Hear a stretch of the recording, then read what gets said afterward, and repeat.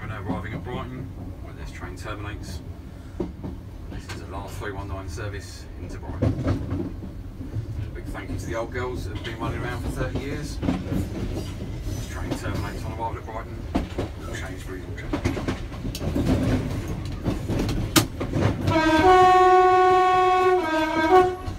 I've known a few old girls running around for 30 years.